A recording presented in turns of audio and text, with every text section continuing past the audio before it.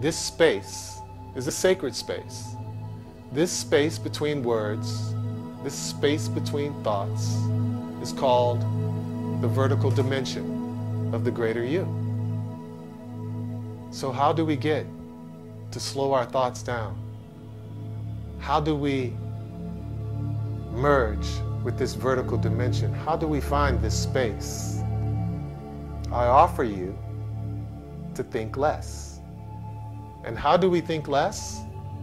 We actually give our minds something to do, which is to focus on our breath. So if everyone in the sound of my voice can join me, let's take one conscious breath to create some space in our life. Inhale, exhale. Inhale, exhale.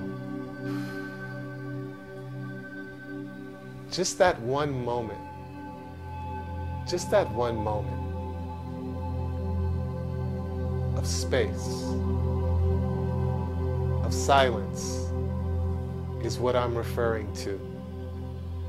And if we can tap in to the space between words, the silence between thoughts, we bring ourselves to a whole new dimension. Alignment with your soul, the greater you.